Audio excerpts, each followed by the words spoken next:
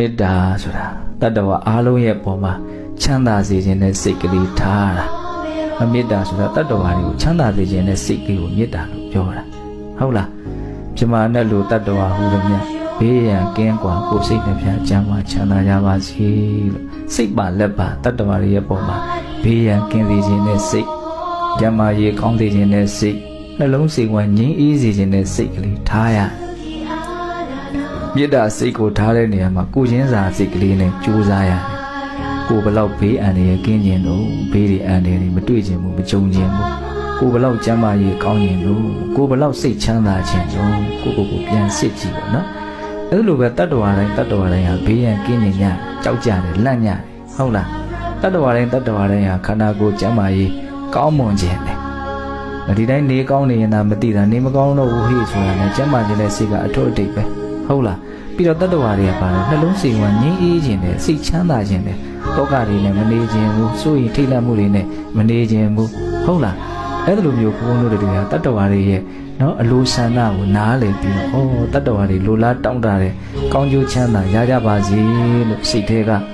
နော်ဘေးရန်ကင်းစေခြင်းနဲ့ကျန်းမာရေးကောင်းစေခြင်းနဲ့နှလုံးစိမ်ဝင်ငြိမ်းအေးစေခြင်းနဲ့သဘောလေးထားတာအဲ့ဒါကိုခေါ်လို့မေတ္တာဟုတ်လား အဲ့ဒီမေတ္တာအလုံးတရားမှအစွမ်းတတ္တိကြီးမားတယ်ဒါကြောင့်မြတ်စွာဘုရားကဒီမေတ္တာတရားနဲ့ပတ်သက်ပြီးတော့အများကြီးသူ့ရဲ့အကျိုးအာနိသင်တွေကိုဟောပြတာရှိတာပေါ့။နံပုံညာဘိက္ခွေမာပါယိထဒုက္ခတေတံဒီဝဆန္ဒယဟန်တို့ကောင်းမှုကိုမကြောက်ကြနဲ့ကောင်းမှုဆိုတာချမ်းသာဒုက္ခရဲ့နာမည်တစ်မျိုးဖြစ်တယ်လို့အဲ့လိုဟောပြီးတော့လှုပ်ခိုင်းတဲ့ကောင်းမှုကဘာဖြစ်ဆိုမေတ္တာဖြစ်တယ်ဟုတ်လားသူ့ဘဝတစ်ခုလုံးက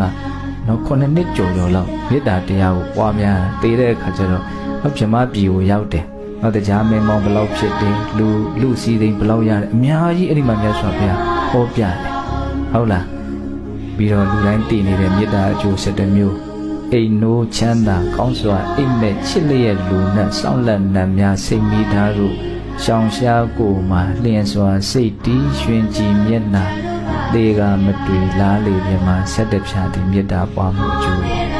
မေတ္တာတရားရဲ့စွန့်ရည်တတ္တိ အကျိုးပေးအာနိသင်ကြီးမားပုံကိုဘုရားလွယ်လို့ယူမတိတိကျကျပြည့်ပြည့်စုံစုံသိနိုင်မှာမဟုတ်ဘူးဟုတ်လားဒါကြောင့်မေတ္တာကိုအားကိုးတဲ့နော်မေတ္တာစိတ်ကလေးကိုဘုန်းဘုန်းတို့ရဲ့အတွင်းတန်တာမှာထပ်ထပ်ထပ်ဖြစ်အောင်ကြိုးပမ်းအားထုတ်တဲ့နေပေါ့ဟုတ်လား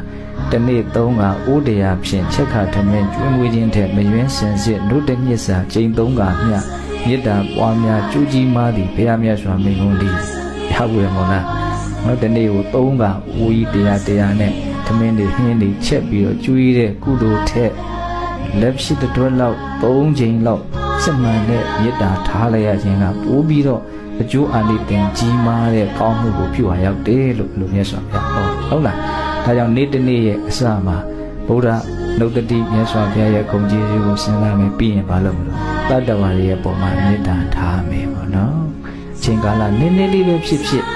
စိတ်ကလေးကိုကြည်လင်တန့်ရှင်းသွားအောင် ကိုယ့်ရဲ့စိတ်ကိုဒေါသမေးလောင်တာတွေနည်းအောင်ဘုံတော့အဲ့ဒီရည်ရွယ်ချက်နဲ့ကြိုးစားရမေတ္တာထားတယ်မေတ္တာဘာဝနာပွားများတယ်ဆိုတာတတ္တဝါတွေကိုချမ်းသာစေခြင်းနဲ့နော်စိတ်နဲ့ထားတာလည်းတစ်ပိုင်း